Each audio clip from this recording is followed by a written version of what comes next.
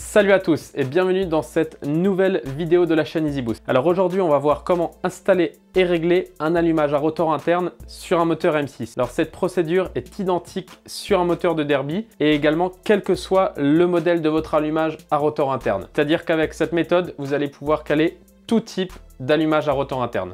Alors dans un premier temps, on va démonter l'allumage d'origine du moteur M6. Ensuite, on installera un allumage à rotor interne. Et enfin, on calera l'allumage grâce à la pige de calage EasyBoost.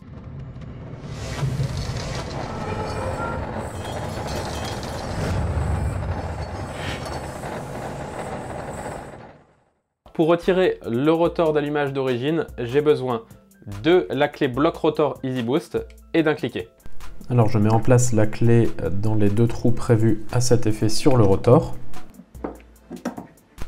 Et je desserre l'écrou avec le cliquet.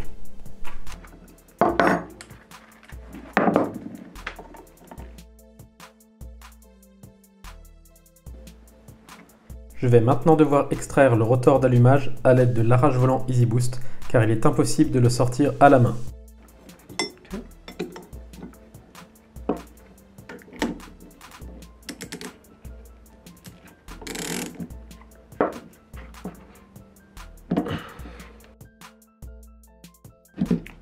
On va ensuite dévisser cette vis, cette vis et cette vis afin de pouvoir sortir le stator monté sur sa platine.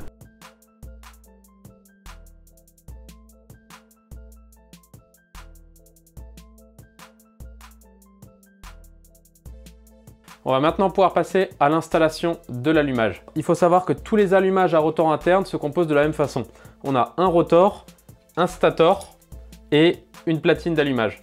En plus de ça, sur la partie électrique, on aura donc un CDI et une bobine. Certains rotors d'allumage sont équipés d'un logement pour la clavette, comme vous pouvez le voir ici, et d'autres ne possèdent pas de logement pour la clavette. Si vous avez une clavette sur le rotor d'allumage, il suffit tout simplement de l'enfiler sur le vilebrequin équipé de sa clavette. Mais dans le cadre de ce tutoriel, on va faire comme si on n'avait pas de logement pour la clavette sur le rotor d'allumage. Donc pour ça, je vais devoir retirer la clavette sur le vilebrequin. Voilà, la clavette est retirée du vilebrequin. Je place ensuite la platine sur le carter.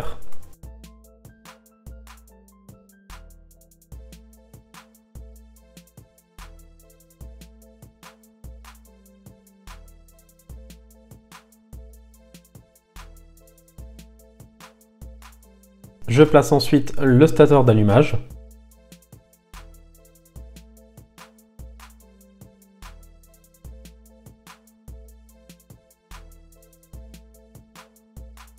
Le stator est en place.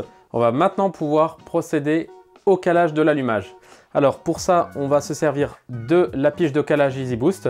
Et pour que vous puissiez mieux comprendre qu'est-ce qui se passe sous la culasse, eh bien on l'a tout simplement découpé.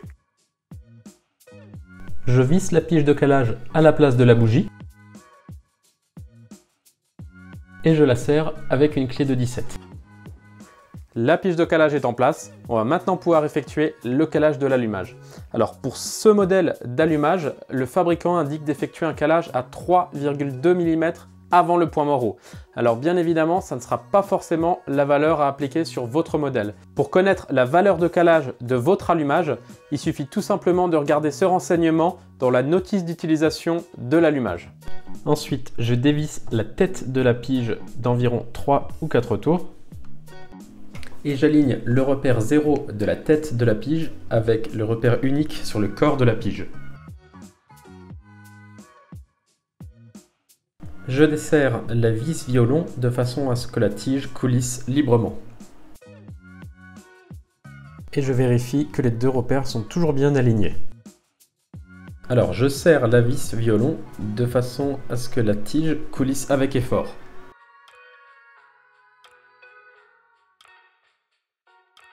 Je fais euh, remonter le piston en tournant le vilebrequin de façon à ce que la tige m'indique le point mort. Je serre ensuite fortement la vis violon de façon à bloquer la tige. Alors pour faire descendre la tige de 3,2 mm, je vais devoir serrer la tête de la pige de 3 tours plus 2 graduations.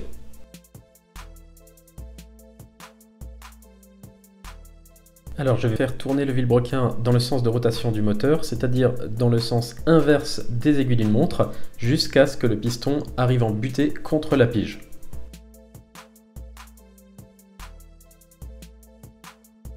Je vais aligner le repère unique sur le rotor avec le repère du stator. Alors pour savoir quel repère utiliser, il faut tout simplement prendre la flèche qui indique le sens de rotation du moteur. Donc dans le cas d'un moteur de moto, c'est donc la flèche qui indique le sens anti-horaire. Voilà, le rotor est en place et je mets ensuite la rondelle et puis l'écrou.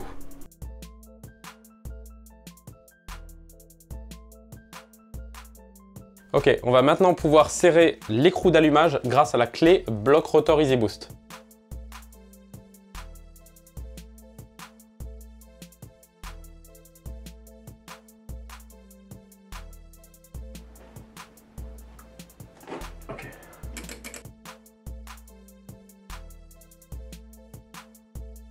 L'allumage est maintenant calé à environ 3,2 mm avant le point mort je vais recontrôler le calage et affiner si besoin en faisant pivoter le stator grâce aux trois vis présentes sur celui-ci.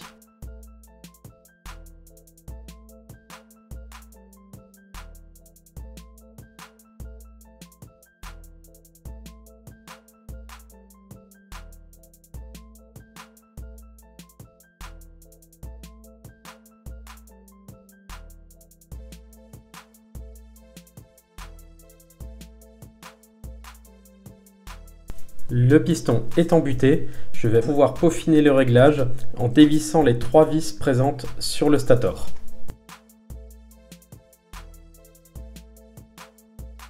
Les deux repères sont désormais parfaitement alignés.